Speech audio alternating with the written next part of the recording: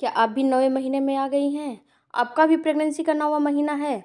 तो प्रेगनेंसी के नौवें महीने में क्या क्या होता है? प्रेगनेंसी के नौवें महीने में बेबी का कितना ग्रोथ हो जाता है? प्रेगनेंसी के नौवें महीने में आपके बॉडी में क्या क्या सिम्टम्स आते हैं? प्रेगनेंसी के नौवें महीने में आपका कितना ग्रोथ हुआ रहता है, आपके बॉडी में क्या क्या चेंजेज हुए रहते हैं, सारी टॉपिक इस वीडियो में मैं बताने वाली हूँ। तो वीडियो को ज़रूर देखें वीडियो को स्किप करके ना देखें प्लीज़ रिक्वेस्ट है। और वीडियो अगर अच्छा लगे अच्छा लग गया आपको तो चैनल को लाइक शेयर सब्सक्राइब कमेंट तो करना बनता है तो करके जाइएगा। चलिए वीडियो में जानते हैं।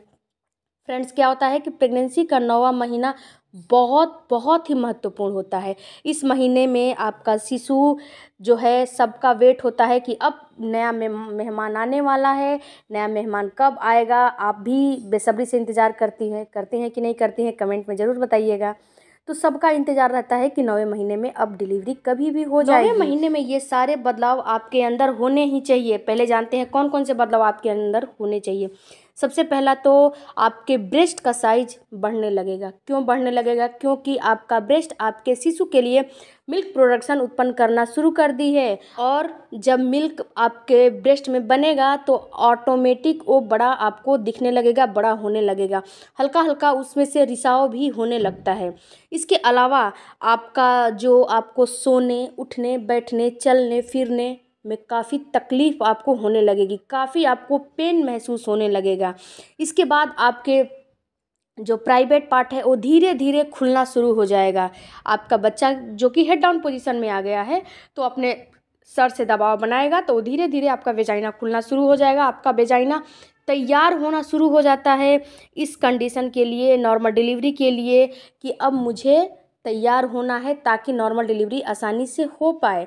इसके बाद आपका जो म्यूकस प्लग है, वो धीरे धीरे निकलना शुरू हो जाता है। आपका डिस्चार्ज पहले की अपेक्षा इस समय बढ़ जाता है नाइन मंथ में, जो कि ये सारे प्रक्रिया, सारे सिम्टम्स नॉर्मल है। अगर ऐसा हो रहा है तो आपको घबराने की ज़रूरत नहीं है। आपको खुश होना चाहिए कि अब मेरी नॉर्मल डिलीवरी की प्रक्रिया शुरू हो गई है। नाइन मंथ में ये सारे चीज़ होने ही होने चाहिए।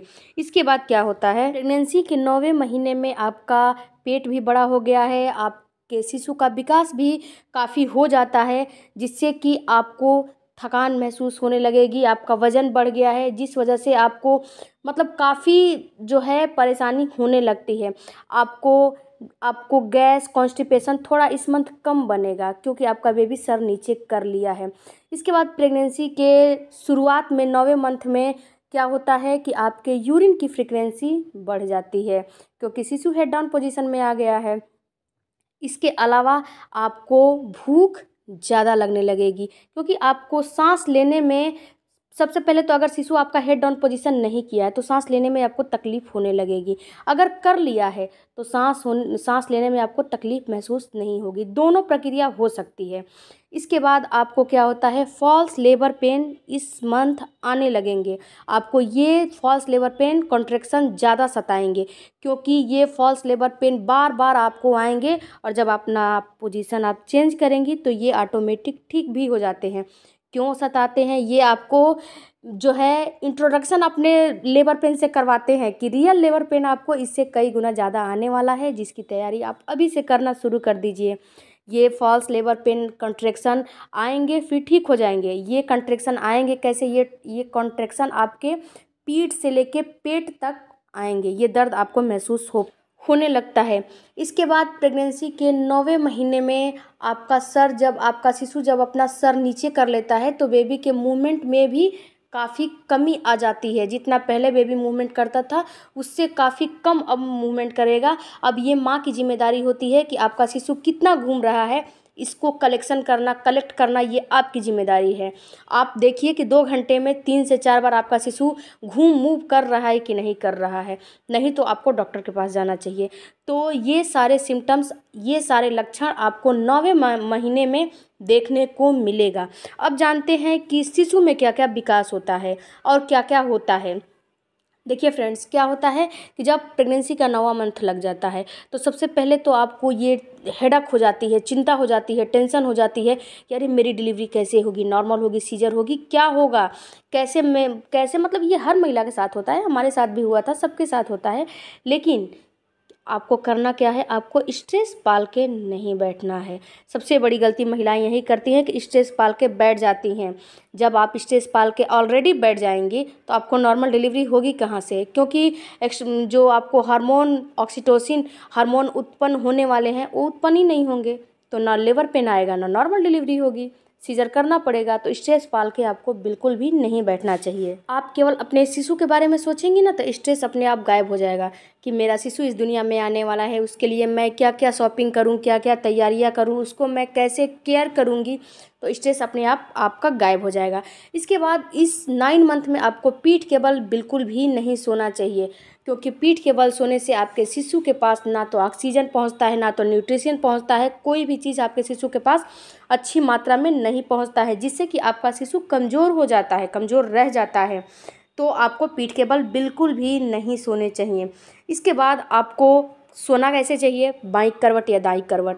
दोनों में से कि बाई करवट आपको ज़्यादा सोना चाहिए।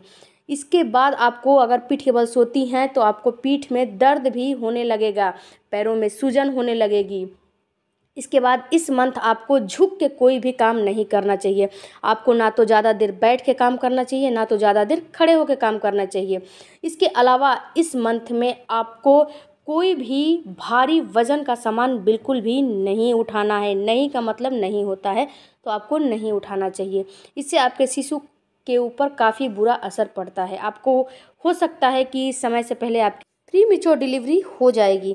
तो आपको वज़न का सामान बिल्कुल भी नहीं उठाना चाहिए। इसके अलावा आपको नाइन मंथ में रिलेशन भी नहीं रखना चाहिए, क्योंकि पेट पे ज़ोर पड़ता है रिलेशन रखने से। इसके बाद नाइन मंथ में आप डिलीवरी बैग तैयार करके रख लीजिए, क्योंकि कभी भी आपकी डिलीवरी हो सकती है। ये कोई इसका फिक्स डेट नहीं है कि कब कब आपका लेबर पेन आ जाएगा। अभी आ जाएगा, अभी आप मेरा वीडियो देख रही हैं, अभी आपका लेबर पेन आ जाएगा। कोई फिक्स डेट नहीं है। तो ड्यू डेट से पहले या फिर ड्यू डेट के बाद आपको कभी भी डिलीवरी हो सकती है। ड्यू डेट पे किसी किसी महिला का डिलीवरी होता है। तो डिलीवरी बैग तैयार करके रख ले, अपने पास आप किसी को भी बुला ले या फिर उसके पास आप किसी, चले जाएँ, किसी के पास चले जाएँ, क्योंकि नाइन मंथ में आपके पास कोई ना कोई होना ज़रूरी है, क्योंकि नाइन मंथ में कब क्या हो जाए कोई नहीं जानता है। तो नाइन मंथ जब आपका चढ़ गया है तो इन सारे टिप्स को फॉलो करें, इन सारे चीज़ों को आप ध्यान दें। और डिलीवरी बैग में क्या क्या रखना है, मैंने ऑलरेडी वीडियो बना के रखा है, उसको चेकआउट करिए। और आप कहेंगे तो मैं दूसरा वीडियो बना दूँगी। इसके बाद अब जानते हैं कि शिशु का क्या क्या विकास होता है। तो फ्रेंड्स इस मंथ शिशु का पूर्ण रूप से विकास हो गया होता है। आपके शिशु की लंबाई 19 इंच और वज़न ढाई से साढ़े तीन के जी तक हो जाता है।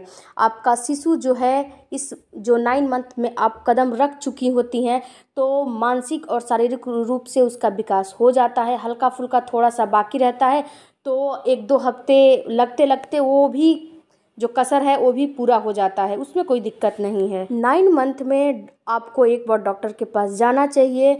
इस मंथ आपका शुगर, बीपी, इसके बाद ब्लड प्रेशर, यूरिन, हीमोग्लोबिन, हर चीज़ की जाँच होती है। और इसमें अगर कोई भी एरर है, कोई भी फैक्ट है, यानी कि कोई भी कम है तो आपको नॉर्मल डिलीवरी होने में काफ़ी परेशानी होती है। इसके बाद अगर आप सोनोग्राफी करवाती हैं तो इसमें आपके बच्चे की पोजीशन का भी पता आपको चल जाता है। बच्चा आपका आड़ा तिरछा उल्टा कैसा है, बच्चे के गले में गर्भनाल है, यानी कि बच्चे की पोजीशन आपको इस मंथ पूरी पता चल जाती है और इस मंथ आपको क्लियर हो जाता है कि आपकी डिलीवरी नॉर्मल होगी या सीजर। लेकिन मैं आपके फ्रेंड होने के नाते, आपकी दोस्त होने के नाते मैं आपको एक एडवाइस ज़रूर दूँगी कि जो जैसा आपको डॉक्टर बोलता है सीजर करने को तो सीजर ही करवाइए। करवाइए, क्योंकि इस समय आपके शिशु की सेफ्टी आपके लिए बहुत ज़रूरी है और नॉर्मल सीजर क्या है, हर में आप सीजर में थोड़ा टाइम लगता है रिकवरी होने में, लेकिन रिकवरी हो जाता है, कोई दिक्कत नहीं होती है। मिलते हैं अगले वीडियो में। आई होप तब तक आप अपना प्रेगनेंसी एंजॉय कीजिए। बाय बाय, टेक केयर, धन्यवाद।